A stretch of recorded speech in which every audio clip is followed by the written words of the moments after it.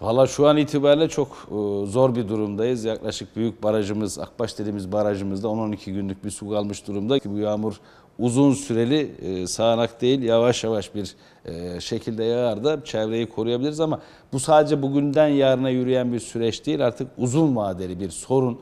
Yani artık hepimizin o doğadaki o suya, iklim krizine gitmemek için suya sahip çıkmamız gerekiyor.